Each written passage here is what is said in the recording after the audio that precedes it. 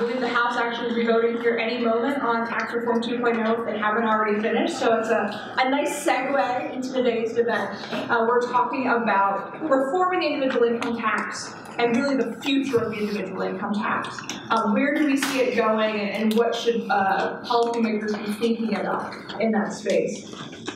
Uh, I first want to thank H&R Block for helping us uh, sponsor today's event. Uh, this is the first of a series of talking tax events we'll be doing throughout the fall and winter in coordination with H&R Block. So thanks again for all of their help on this. Uh, for those of you here uh, and, and playing the live through the event, we have a hashtag, hashtag talking tax. Uh, feel free to add your comments um, and questions as well as some analysis of what you're hearing uh, and participate in that conversation. I'm joined here by an esteemed panel of tax experts to help us dive into this topic. Uh, in general, um, we are looking to answer three major questions. What is it that Congress actually did in December? Um, what does the individual income tax look like this year? Uh, and what will it look like over the next several years? The second, what did those changes mean for taxpayers? What are taxpayers seeing this year and what will they see next year when they file their first individual income tax return post-reform? Additionally, what does that mean for tax preparers? What are they seeing um, as we work through this, this large change in the individual income tax? In many ways, the Tax Cuts and Jobs Act was historic, but it's not perfect. And so we'll talk a bit about that as well. What does 2.0 mean to us? What should we be thinking about that? Where perhaps are there more opportunities for Congress and policymakers to make reform over the next several years to the individual income? And so with that, let me introduce our panelists. To my immediate right is Erica York. She is an analyst from the Tax Foundation. Erica's work has been featured in the Wall Street Journal, the Washington Post, and a number of other publications. She holds a master's degree from Wichita State and an undergraduate degree in business administration and economics from Sterling College in Kansas. Next, we have Kathy Pickering, who is the Vice President of Regulatory Affairs and Executive Director of the Tax Institute at H&R Block. Kathy has almost 20 years of experience in tax administration, and she's responsible for the strategic direction and management of the team of a team of the nation's top tax experts. She's currently focusing on an IRS security summit which brings together representatives of the IRS, state tax agencies, and industry to work on collaborative solutions to combat stolen identi identity fraud returns. And finally, Veronique de Rugy, who is a senior research fellow at the Mercatus Center, Vero is a, a, nationally syndicated columnist and has testified numerous times before Congress on the impacts of fiscal stimulus, debt and deficits, and regulation on the economy. Her work has been featured in every major news outlet, including the New York Times, Washington Post, Wall Street Journal, CNN, and that list goes on. Um, she has her PhD from the Panthéon-Sorbonne University in France. So with that, I'll kick it off with Erica to provide some initial setup for the conversation. Thanks, Nicole, and thanks everyone for being here today. I want to focus on three key points about the Tax Cuts and Jobs Act. First, that the Tax Cuts and Jobs Act simplified taxes for millions of households. Second, that it delivers tax cuts to average taxpayers in every congressional district and every income level. And third, that making the individual provisions permanent would be pro-growth. But before getting to those points, I just want to take a step back and look at the individual income tax. Now, most of us are familiar with filing taxes, or at least we should be. Um, we add up our sources of income, and then we get to make certain adjustments to our income that either lower the amount we pay taxes on, or directly lower our tax liability. Now, under the old tax code, there were three primary provisions that reduced households' income taxes um, depending on their household size. These were the standard deduction, the personal exemption, and the child tax credit. The standard deduction, like it sounds, um, reduces a household's income by a standard amount, which depended um, if you filed single, of household, or uh, married filing jointly. The alternate to the standard deduction is itemized deductions. These are primarily taken by higher income households in which they keep track of certain expenses throughout the year, and if those total to a higher amount than the standard deduction, they would take itemized deductions. The second provision is the personal exemption. It's similar to the standard deduction in that it reduces household income by a set amount, but uh, generally one was allowed for each person in the household. And finally, the child tax credit, as it sounds, is a tax credit depending on the number of children in the household, but unlike the other two provisions, this one directly reduced tax liability. Now, our income tax system is a progressive tax system. It has seven brackets, in which each bracket shows the tax rate that you'll pay on that portion of income. And that's important to understand, reaching a higher tax bracket doesn't mean you pay that higher tax rate on all your income, only the income within that bracket. Now, completing all of these steps, figuring out your income, your adjustments, and your tax liability, created a large compliance burden. It was estimated in 2016 that it took individuals 2.6 billion hours to comply with IRS um, rules for individual taxes. Putting that in dollar terms, that's about $900 billion annually spent just on time complying with the tax code. And that was one of the major motivations for tax reform. Now, in general, tax reform means cleaning up the code, so broadening the base by getting rid of um, carve-outs and exemptions and that sort of thing, and lowering rates at the same time. And that brings me to my first point, that the new tax law simplified taxes for millions of households. So those three provisions I mentioned under the old law were consolidated into two in the new tax code. The personal exemption was eliminated and replaced by an expanded standard deduction and expanded child tax credit. And this means that many filers will be better off taking a standard deduction instead of itemizing their deductions. The standard deduction was expanded from $6,500 to $13,000 for single filers and from, or to $12,000 for single filers, and from 13,000 to 24,000 for um, married filers. So this near doubling of the standard deduction reduces the value of itemized deductions. To understand why, think of a married couple under the old tax code who would have taken $14,000 in various itemized deductions. Under the new tax code, this couple is better off taking the expanded standard deduction of $24,000 because they get to deduct an additional $10,000 and they don't have to spend time keeping track of expenses, maintaining records, and filling out Schedule A of the Form 1040. So the Joint Committee on Taxation estimates the filer, filers will fall from uh, 46.5 million in 2017 to just around 18 million in 2018 under the new tax code. So about 88% of all taxpayers will take this expanded standard deduction. We calculated that this will reduce the compliance burden of individual income tax code anywhere from 3 billion to $5 billion. The new tax law also features lower tax rates. It lowered rates substantially across those seven um, brackets. Together, we've calculated that the structural changes along with the lower rates result in average taxpayers in every congressional district and every income level receiving tax cuts. And the effects of that begin immediately. So for example, in my home state of Kansas, someone who makes between $50,000 to $75,000 will see a tax cut just over $1,400 this year. Now there's other provisions in the new law that are projected to increase the size of the economy over time, and this will boost pre-tax incomes for taxpayers.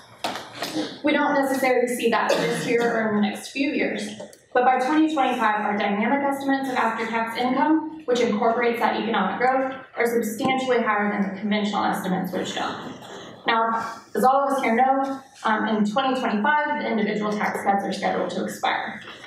Even though taxpayers will be better off because of the larger economy, if the rates and the other provisions expire, this would result in widespread tax increases in 2026. So that's why Congress is considering tax reform 2.0, which would make those changes permanent.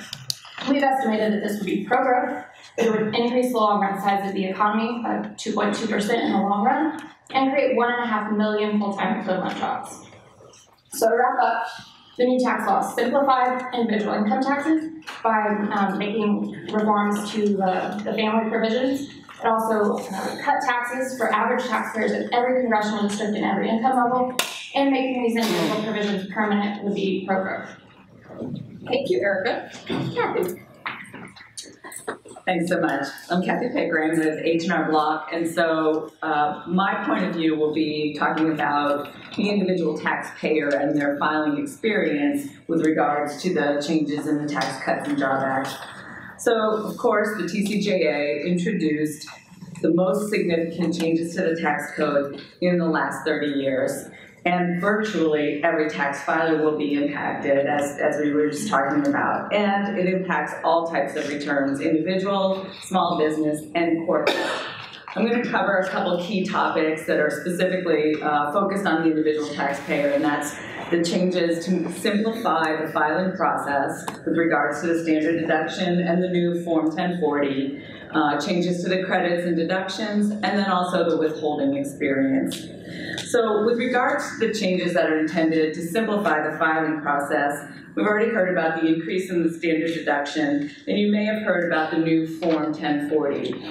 Um, with the new Form 1040, taxpayers will no longer have to decide whether to file the Form 1040, the Form 1040A, or the Form 1040EZ. Um, and just as a reference point, the Form 1040EZ is typically used in the simplest of filing situations. So you've got one W-2, likely don't have any children, it's a very straightforward filing. The 1040A is for a little bit more of a complicated uh, return. You may be claiming some credits, like the earned income tax credit, things like that. And then the Form 1040, you would use, uh, for example, when you're filing itemized deductions and those kinds of things. So now that's all consolidated into one standard form, simplified, streamlined process. However, the actual filing experience for taxpayers will feel very similar.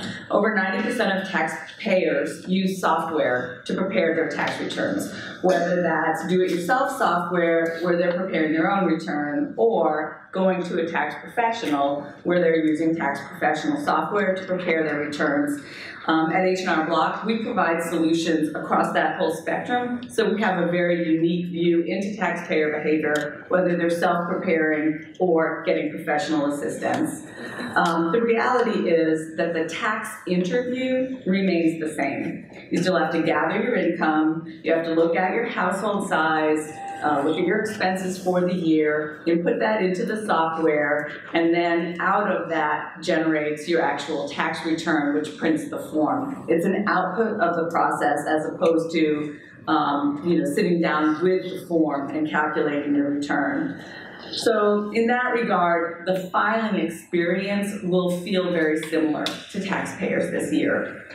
Switching gears um, to changes in credits and exemptions, um, as, as Erica mentioned, the personal and dependent exemptions were eliminated or set to zero. And most notable is the increase in the expansion of the child tax credit. This has been expanded to $2,000 per child, with 1,400 of that being refundable. And what that means is that once your tax liability is set to zero, the rest of it comes back in an additional refund to the taxpayer. And so that increases your refund by that remainder.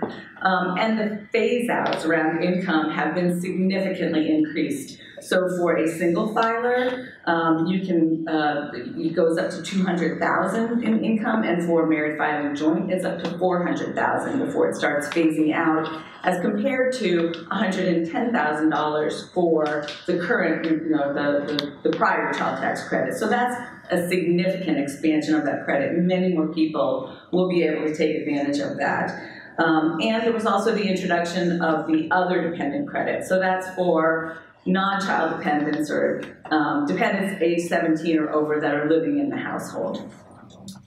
On the topic of the changes to the itemized deductions, um, just, just a little bit of an overview again of the taxpayer experience. Many homebuyers believed that purchasing a home would drive significant tax benefits for them um, because they'd be able to deduct their mortgage interest, their state income tax, their personal property tax, and then by doing that, then once you get into the threshold of being able to itemize your deductions, you're able to then add on to that the benefit of deducting your charitable contributions as well. Um, so now, with the significant changes that have been made to the item to the itemized or the Schedule A, with that increase in the standard deduction, as well as the cap for the state and local uh, tax or the SALT cap at 10,000, the benefit of itemizing will be limited for some taxpayers. Um, however, most taxpayers that are on the bubble are still gonna have to calculate their taxes both ways. They're gonna have to look at the itemized, they're gonna have to look at the standard deduction and see which is better for them and then file accordingly. The good news is they have a choice. They get to do that. They get to look at which will be better for them and then pick that outcome. And then finally, just a quick overview on the impact of the withholding tables. When calculating the appropriate amount of withholding from your paycheck, there's a trade-off between simplicity and accuracy. And the new W-4 is more complicated than the existing W-4, so it requires a deeper knowledge of, um, of your tax and household situation in order to accurately calculate the withholdings. What we typically see is that taxpayers only update their W-4 when there's a significant change, such as starting a new job, getting married or divorced, or getting a surprise on their taxes. So um, that would that would be a catalyst to get them to decide to change their W-4 if they don't like the outcome when they file their taxes. So I think that we will see many taxpayers getting surprised in this upcoming filing season and making W-4 changes once they file their taxes. And so with that, just as an overview, I'm going to turn it over to Veronique. Thank you. Uh, Thanks for, oh, yes. Uh, Thanks for having me. Uh, I was uh, telling Nicole, it's kind of always intimidating because like, like most people don't do actually deep dive into tax data. As we know that the data we always use is the tax foundation. So to be on the tax foundation panel where I'm gonna just be basing all my knowledge on what they write is kind of unsettling, but thanks for having me nonetheless. Today I want to talk about um, actually three aspects of, of the tax reform, um, two wins and one loss, and and um, and then kind of talk about how that helps us think of the next stage for tax reform. So the first one is uh, definitely there's no doubt this tax reform um, that passed um, makes the tax tax code less destructive. There were some aspects of the code that will definitely boost the um, the economy um, su- such as uh, slightly lowering the top marginal rates um, for people. Um, there are other aspects like uh, the changes to the death tax and the mitigation of the uh, alternative minimum tax. These are definitely pro-growth. Um, you know, aspect of, and, and, and also, I mean, it's, it, it simplifies a lot of the, of the burden, I mean, it's, it's a simplification, step towards simplification that we have all been advocating for. Um, I mean, there have been a lot of, I mean, no matter whether you look at, um, market-based tax model for predicting growth or, or even more Keynesian type model, everyone predicts growth. The question is how much, you know, what, you know, how much growth you, and again, there are debates about this, but the fact that this is generating growth is, is unquestionable. And, and I argue also um, and it's not just the individual tax obviously the corporate income tax reduction, right? And the way some of these provisions are creating growth are exactly the right way to trigger growth and, and, and they're, they're gonna be sustained way to create growth. So it's, it's a good thing. Um, that being said, I mean, it's not, you know, this is, we're not gonna see miracle growth that, um, I, I don't know whether we could ever see miracle growth, uh, rates, but, you know, this is, this is still a pretty modest, um, tax reform. This is not kind of thing that you would have seen if you had had a radical changes from a completely different system, like a consumption-based system, like a, a flat tax or something like this. And also, a problem was the way things were done, there were trade-offs that were made, I assume for political reasons. Um, and, and, and po- policy decisions that were made actually hindered the potential for growth. So for instance, um, we have a tax code on, on the uh, income tax that's very progressive. Um, based on your data, roughly ten percent of, the the top ten percent of income earners pay seventy-one percent or seventy, let's say seventy percent of uh, the income tax. It's, it's, and there are like different measures to measure, um, there are different ways to measure progressivity. There's absolutely no doubt that the American income tax system is extremely progressive. However, the debate as it was framed uh, I think was completely misguided to make it a middle class tax cut required, considering how little of the burden of the tax they were going, they were already paying would require to actually tap and expand the most unproductive with respect to growth aspect of the tax code, such as a, a child tax credit. And in fact, this is, this is what, what's happened. That's limiting the impact of growth that we could have had because it requires trade-off. In a constrained budget, you have to, uh, choose. So we traded, you know, more middle class, non-really growth aspect for not as much reduction of the top rates and things like this. Um, the other thing is because of some of the choices that were made, um, there were a lot of provision that had to be sunsetted. That creates uncertainty, you know, and and um, and that has a potential to to limit growth. That gives you a first hint of what would be, you know, the, the tax reform 2.0 would look like. Is like get rid of a lot of these uncertainties. I'd rather that they be for the, the reduction of rates uh, rather than the rates, but reduction of uncertainty is always a good thing. The second plus, I think, is that actually some of the important reforms, uh, one of the really important reforms that were put in place, even though it didn't go all the way, was the reduction of the state and local um, tax deduction. And this is like a real potential to improve and better and give better incentives at the state level to implement better policies.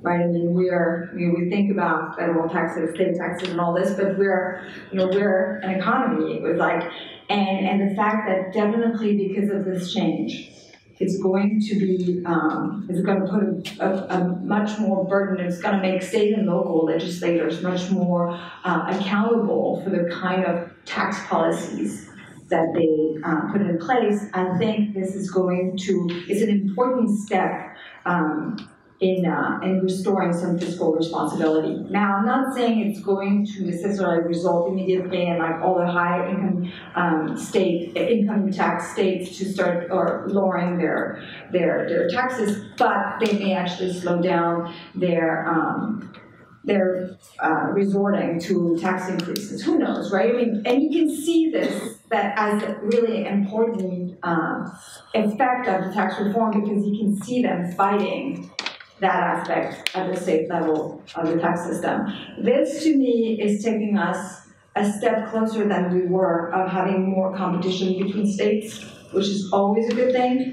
Um, there are a lot of reasons why we don't have enough competition. The size of the federal government is one of them, and something that actually makes tax more um, more uh, painfully, taxpayers more painfully aware of their tax burden at the state level is in, you know, taking us a, a, step closer to having more tax competition. I would like to direct you to a new study by um, tax, uh, Chris Edwards at the Cato Institute that actually looks at whether there is, whether taxes actually contribute to inter, interstate migration, and because um, there's a debate, right, between between experts of how much taxes um, count as having an effect on decisions to move, and, and he finds that it has an effect. So if it does have an effect, then this is going to kind of put more pressure at the state level. That's a good thing. And then the last part I want to talk about is, is a, a really an incredible loss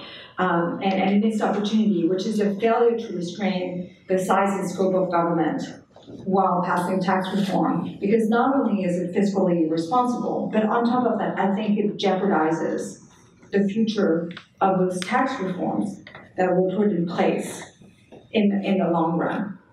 So, I mean, the, the, the, the debt obviously has been, and I'd like to say from the get-go, I mean, I, I don't, and it's absolutely incorrect to say that the financial problem that we have today are the product of the tax cut. I mean, like when you look at the difference between like the contributions to the deficit, um, no matter how you look at it, even look at it like with no dynamic effect and all this compared to the growth of entitlement spending. I mean, tax cut doesn't matter. That being said, everything that adds, you know, is, is a problem. And they like really I mean, legislators are, I really just not, I mean, they're not just refusing to restrain spending, to control spending, they're actually adding, spending like crazy, right? And the problem with this is twofold. First, it had an impact on how much they could do in terms of reforming the tax system. It had an impact on, I mean, it forced them to resort to gimmicks like, you know, uh, sunsetting and things like this to make the numbers work. But again, I actually think the pressure of debt and large deficits in the long run, and also carving out so much of the base of the, the income tax means in the future, a call for higher taxes.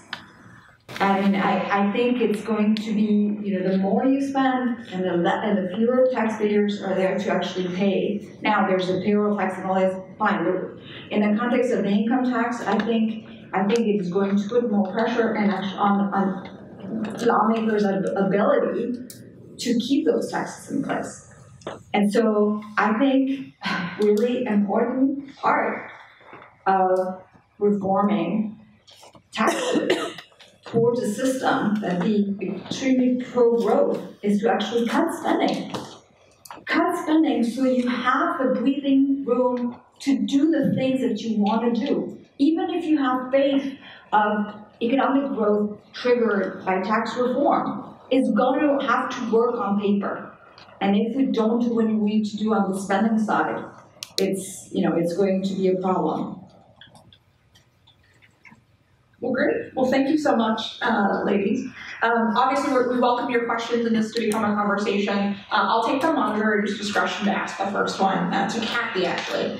Um, so you mentioned that, um, employees could be in for some surprises with their withholding changes. And, and the Government Accountability Office has looked at this and said that the aggregate numbers of over and under withholding is gonna probably be constant this year over last year. Um, but that doesn't mean the individual taxpayer will be in the same position. So, you know, from your perspective, what can employees do to help prevent surprises? What can employers do as well? And, and what are those things that people should be thinking about here as we, we enter the last quarter of the year? Great, thanks for that question. So this is one of my favorite audience participation polls. How many people have personally looked at their own withholdings? Raise your hand. Better than, better than most groups. Um, so uh, the, we are now in September. We've got one quarter left in the year. And um, the most important thing that any individual person can do is look at their current situation right now. So, um, you know, it's, it's, of course, if you're getting a paycheck, right, you want to look at you know, how much withholdings you've already, you know, uh, had withheld from your paycheck. Look at your situation, you know, understand your household. You know, do you have do you have a, a, spouse? Are they also working? Um, are they getting a paycheck with withholdings, or are they self-employed and are they withholding enough?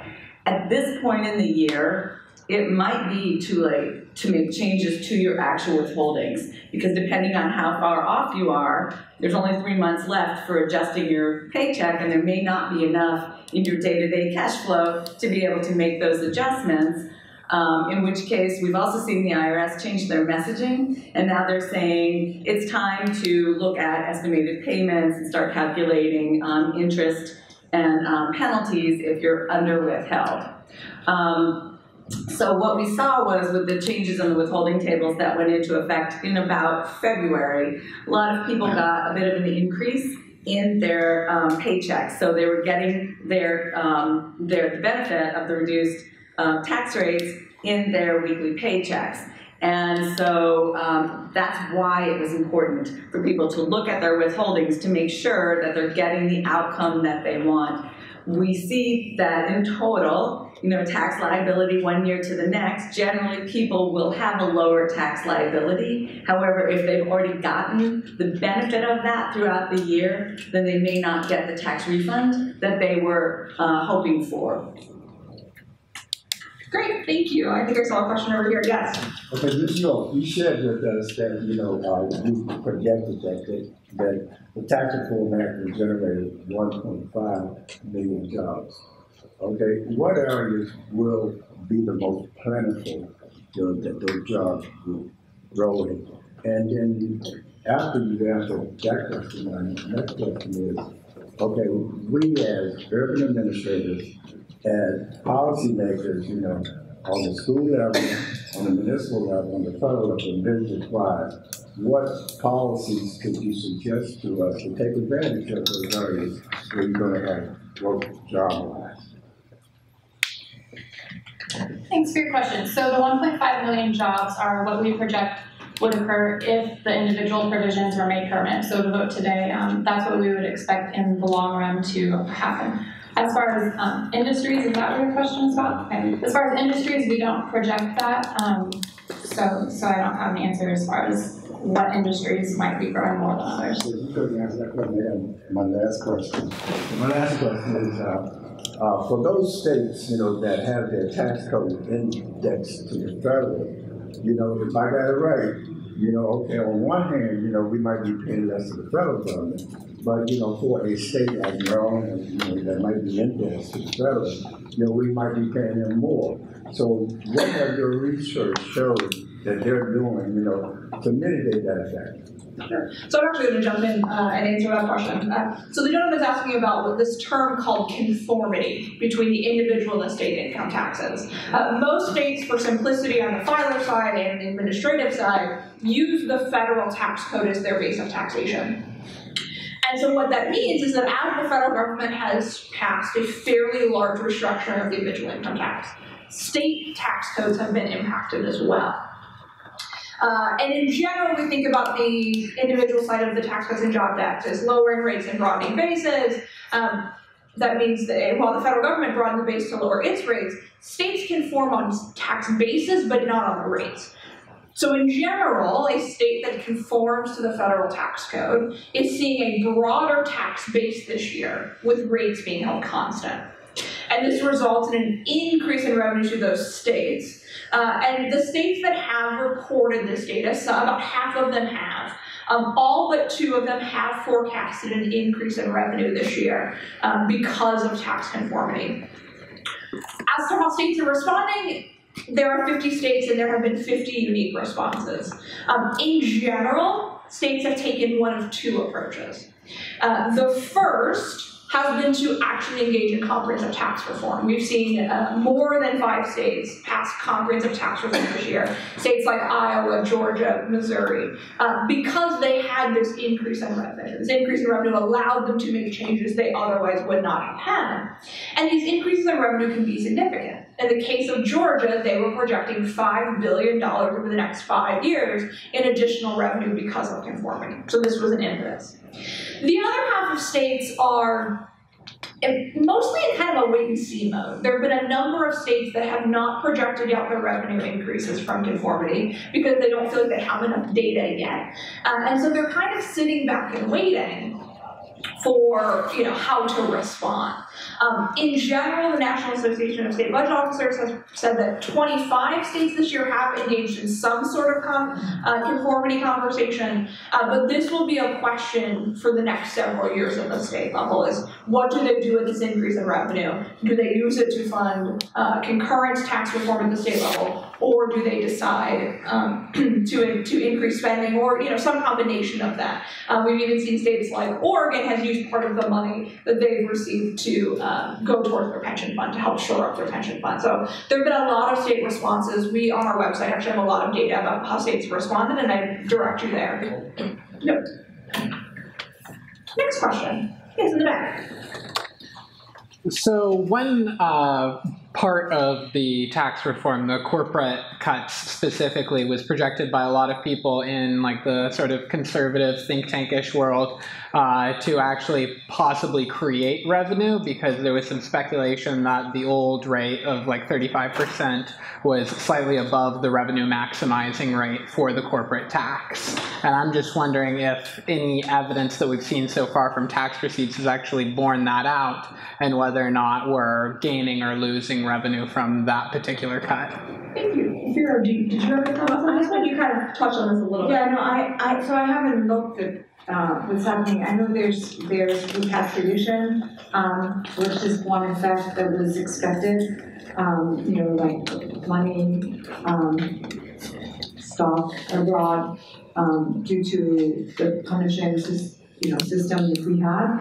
Um, but I haven't, I haven't looked, you know, closely at the data, but I think, I mean, Steve would be the best person to talk about this. I mean, all the projections for reduction of the corporate income tax show and predict that there will be an increase of, um, of, of revenue as a result.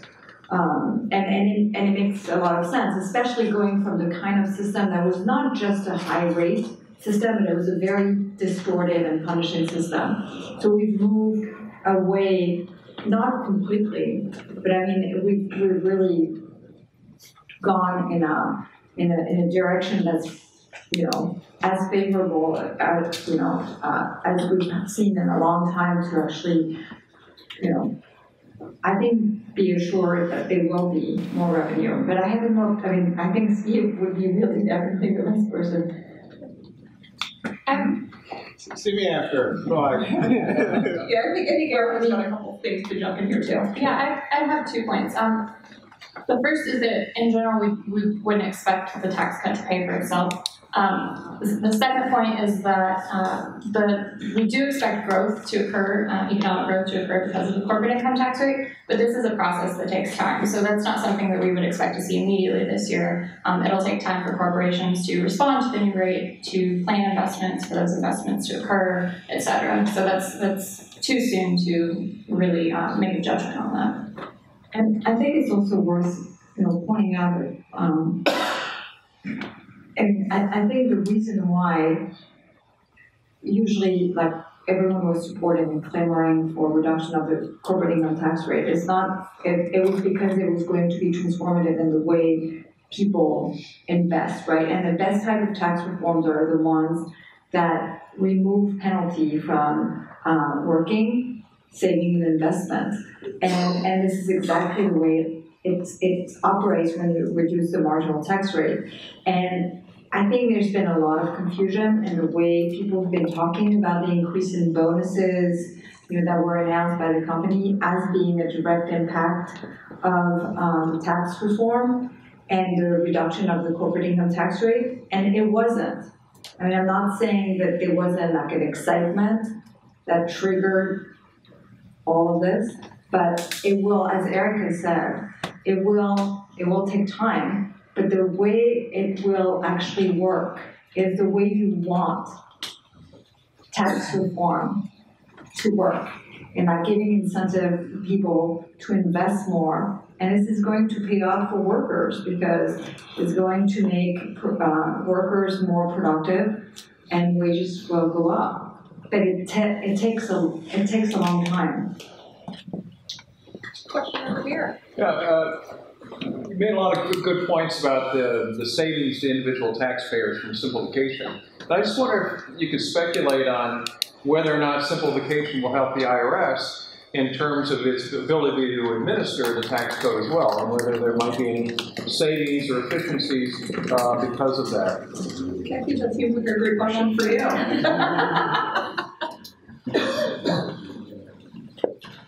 Um, so certainly with the um, implementation of just the one Form 1040 as opposed to three, um, that will simplify our processing stream. So now they only have to intake one um, instead of three. So we, uh, we would expect that there'll be some streamlining of processing and operations there. And um, uh, I, I, I would, I would just have to say that because of the timing of the changes, I don't think we're gonna see the benefit in this immediate filing season because there's so much work that needs to be done to get ready to implement it.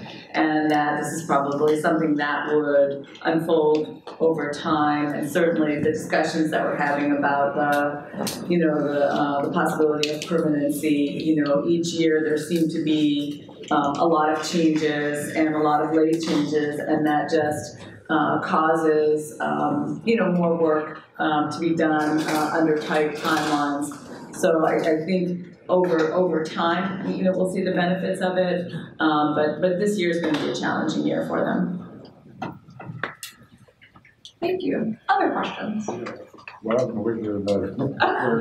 Eric, go ahead with him first. Do you think the politics of the SALT cap have been overplayed? I mean, it seems to me that so many people are gonna get a tax hike. My Democrat friends tell me it's the end of the Republican Party in high tax states, so you sort of talk to that. Uh, Erica, would you like to get going? Yeah. And then Drew, you can jump in after. Yeah, I, I think it's been mischaracterized. Um, the vast majority of tax filers are still better off because the cap to the SALT deduction helped finance, uh, rate cuts, helped finance the expansion of the child tax credit, and also helped reform the AMT. So we need to look at SALT in context. Um, it primarily benefited high income earners, and a lot of these are the same that fell under the AMT. So the AMT would claw back the value of the SALT deduction. Now that the AMT thresholds and exemptions have been increased, um, those filers will be able to take the capped SALT deduction. Um, in terms of how it will affect states, um, the SALT deduction does, um, subsidize high income tax states at the expense of low income tax states. And so to the extent that it does that, it, it does reduce the, um, the effective cost of high taxes. But the change at the federal level doesn't directly impact state budgets. So state budgets are, are still the same that they were. Um, and, and as I've mentioned before, we've calculated the average tax cuts by congressional district and by income level, and we see tax cuts on, on average in every single one of those. To? No, I, I would just want to say like, I mean, if it's, if it's the end of anything, it's not gonna be the end of anything, of any party, but if it's the end of anything, it's gonna be the end of a bad incentive to shelter high income earners for the most part, um, from the actual cost of the state they live in.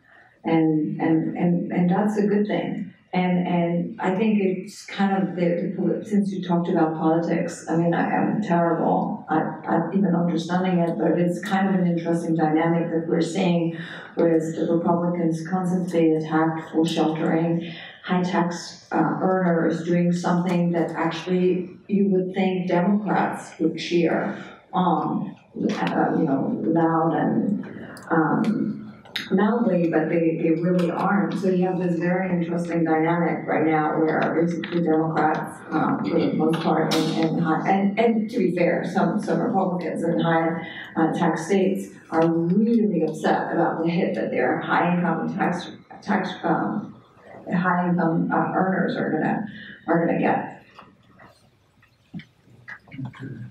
Other questions? All right, go ahead. Okay, thank you.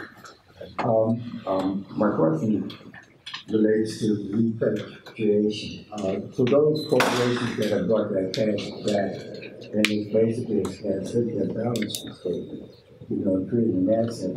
How, what are your studies showing, how they deploy their working capital? Have they brought back their stock, or have they, you know, uh, done some other things with that money? Great, thank you. That Erica actually released a paper yesterday on repatriation, so I'll let her, uh, tackle that one. Yeah, so, so again, the first answer is that it's, it's really soon.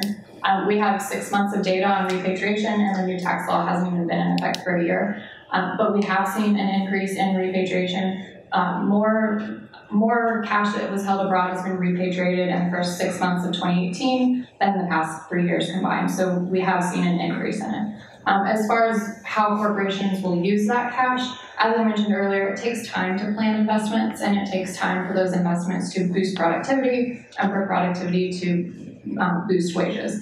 We have seen an increase in stock buybacks. We've also got um, some great resources on our website about stock buybacks. We've got an interactive tool and um, a research paper, so you might want to check that out.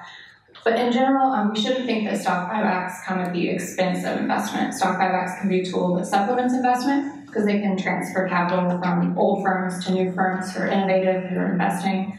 And um, they also reward shareholders, as we know. Um, sometimes we don't think about shareholders, though, being uh, retirees, pension funds, that benefits teachers, um, unions, and that, that sort of thing. Um, uh, institutional investors, those types are the largest investors in the United States. So when we think about who benefits from stock buybacks, it's, it's good to keep them in mind.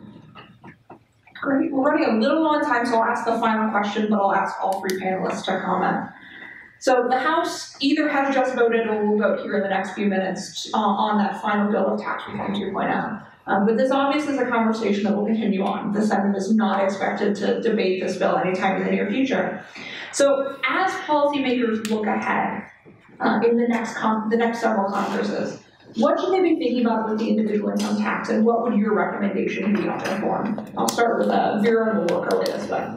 Okay, so I'm, I'm going to be obnoxious, and I'm going to say that actually really, I mean, if, if they're thinking about taxes, they really shouldn't be doing any tax reform except for bettering the structure of the code if they're not gonna be cutting spending.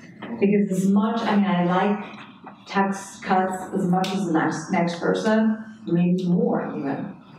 But our my, my government is small and, and the size of government is measured by how much it's, it spends and not how much it taxes. And it always backfire. I mean, it's like these two things are connected even though we talked about them separately. And I, I just, I, I mean, I, I really, I really don't think anyone, like, there was, there was a lot of talk last time around, like, the middle class deserves a tax cut. Well, no, actually, no one deserves a tax cut if we're not going to be controlling the size of government.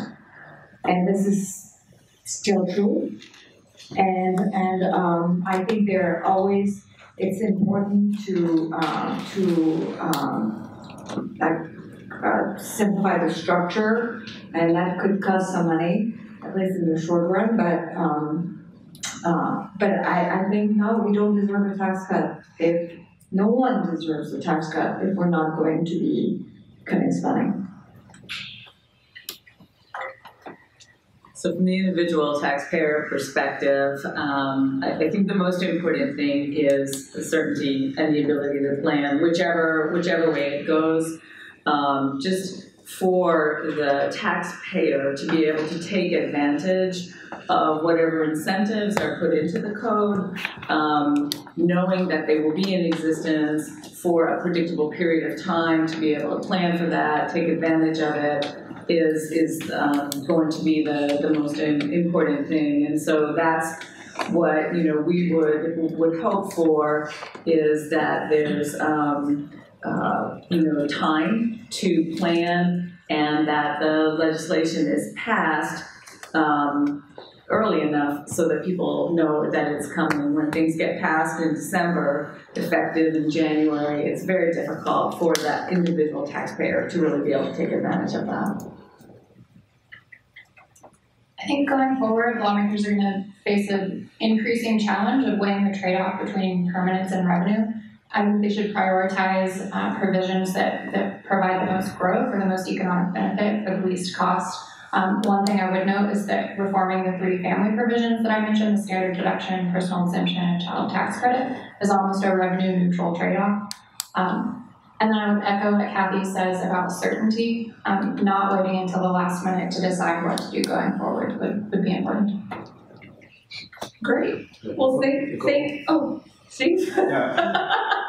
Yesterday, the Commerce Department released the second quarter figures on changes in asset holdings by us here and abroad and by them here and abroad. And uh, I'll try and grab that graph to answer some of the questions about whether repatriation is occurring quickly or not. It, it, it's, it's quite a demonstration that in the last two quarters, a huge change has occurred. I'll try and lift the graph and see if I can put it in a blog. If it comes out of their report, it goes in a blog. Uh, it should be either early today or early Monday. Thank you. Uh, so thank you to everyone who joined us here in the room, as well as everyone uh, on Twitter on our hashtag Talking Tax. As I mentioned at the beginning, this will be a series of events we'll be holding throughout the fall and winter in coordination with H&R Block. So thanks again for their sponsorship, of today's event. Uh, and then finally, Erica and our panelists talked about a great deal of data about the impact of the changes of the, of the Tax Cuts and Jobs Act on, on you individually and on your constituents. Um, we, on Monday, will be releasing new landing page consolidating all of our research on the topic. Uh, be sure to check out our taxfoundation.org slash TCJA for Tax Cuts and Jobs Act. Thanks for joining us today.